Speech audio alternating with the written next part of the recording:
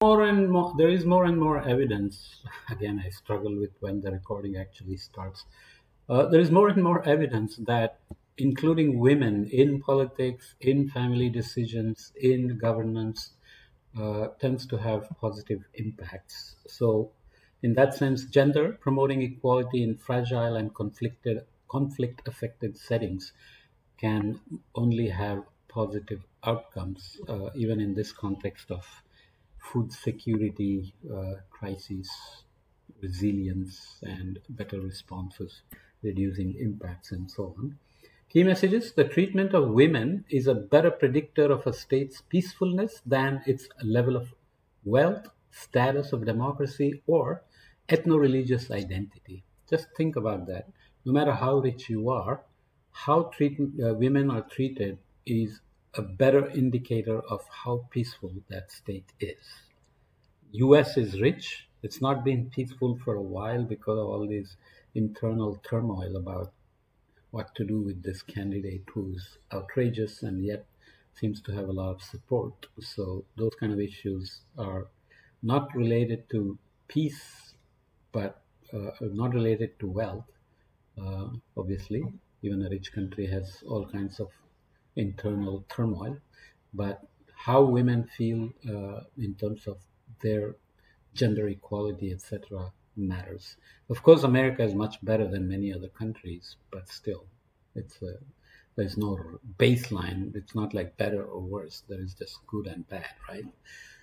So, with that commentary, in fragile and conflict affected settings, women and girls face disproportionate risks that include forced displacement and gender based violence.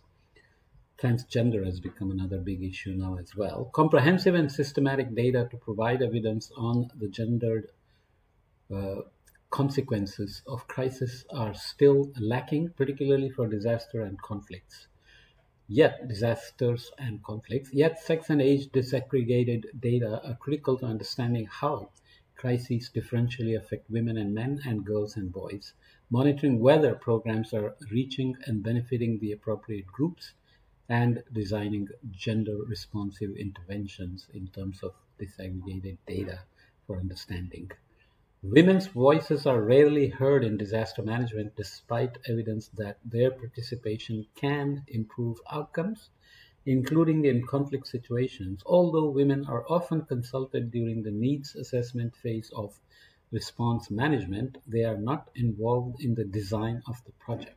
So they are stakeholders in the sense they are asked for input, then they are not given agency in terms of making decisions on the design of projects.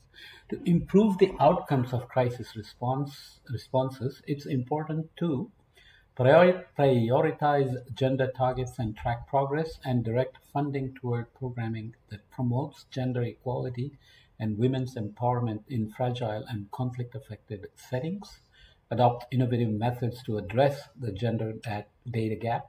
Providing mobile phone access to women can have multiplier effects, enabling women to receive cash transfers directly while providing a platform for high frequency data collection and targeted information campaigns. Generate more evidence on violence pre- prevention strategies. To date, few studies empirically evaluate the impact of violence prevention and response interventions in fragile and conflict affected settings, but important research is underway, including work by the Interdisciplinary Cash Transfer and Intimate Partner Violence Research Collaborative hosted by IFPRI, which is the author of this report. Uh, Ensure that women's voices are included at all levels, especially in peace processes and in senior management and high level government positions where policymaking and programming decisions are made. India just passed an ordinance legislation to allow one third seats in the parliament to be, uh, you know, uh, set aside for women, which will make a big difference in the end. Uh, some data child marriage rates 2014 to 2020 in fragile and conflict affected countries. There is some new evidence that actually climate change is extremes are beginning to impact child marriages, increase them unfortunately. So there are all kinds of cascades in poor and low income communities that we don't necessarily understand. It's not okay to just dismiss that this is stupid and should not be done. We need to con- understand the context in which contexts in which they happen. And when women feel helpless and uh, not having agency, they tend to take decisions which they think will protect the girl, even if it's a child marriage. Okay, so you have to be careful. So married by age 15 and married by age 18, uh, you can see here girls and so Afghanistan, girls and boys, much higher percentage of married by 18 for uh, girls. Similarly, pretty much everywhere true, but you can see interesting data here. Bangladesh, girls 15 and 18, but uh, boys is small, very small in fact. Anybody, nobody below 15, uh, but few uh, above 8. Uh, very nobody by 15, but a few by 18. Similarly, Burkina Faso, Cameroon, uh, Central African Republic, Chad, is there anywhere where boys number is higher? Not really at all, right? So Chad, Democratic Republic of Congo, Ethiopia, Guinea, Iraq, Mali, Mozambique, Myanmar, Myanmar, Niger, Nigeria, Somalia, South Sudan, uh, Ukraine, and Yemen. So Ukraine, the numbers are small for girls, nobody below 15. For boys, nobody below 15. But uh, married by 18 is still, uh, you know, around 8% for girls and maybe 3 or 4% for uh, boys. And the differences are much starker in other countries like Niger. Small fraction of boys are married by 18, but uh, almost 42% are married either by 15 or 18 very high for Niger. More than it's almost 75%. And for boys, it's hardly 5%. So this gender inequality is really, really, really stark in some places.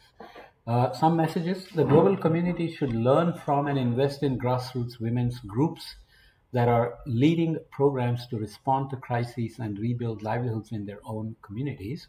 Women's groups can provide a platform for collective action by sharing labor and childcare responsibilities, organizing transport, accessing accessing credit and savings, and disseminating information. They are very good at forming self-help groups and taking care of many of the issues locally and in a very reliable way.